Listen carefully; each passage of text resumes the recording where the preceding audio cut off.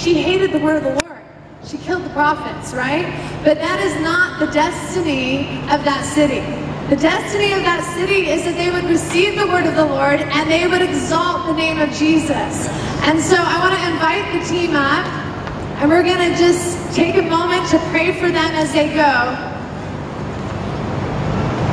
Obviously, we're experiencing the shaking in the nations, especially in that region of the earth, but it is unto many coming into the name of Jesus. Like Haggai says, there's a shaking that comes. In a little while, I'm going to shake. I'm going to shake the heavens. I'm going to shake the earth.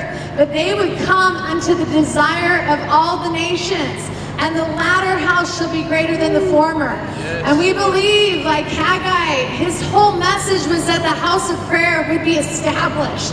And we believe that this message is now affecting us in this in this season of history, and we will see the house of prayer come forth in every tribe, in every tongue, and every nation. Amen. So I'm going to invite just if you're part of the sending team or you're part of leadership at, at PIHOP, if you would just come up, let's lay hands on them. For those, the rest of you, let's just stretch out our hands and let's just pray for them as they go. If you were part of Adoration 111 last time, let's just have you come up too. So pray blessing upon them.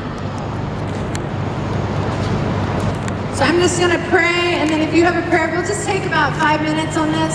So, God, we just come to you. We present this team to you. We ask that, God, you would establish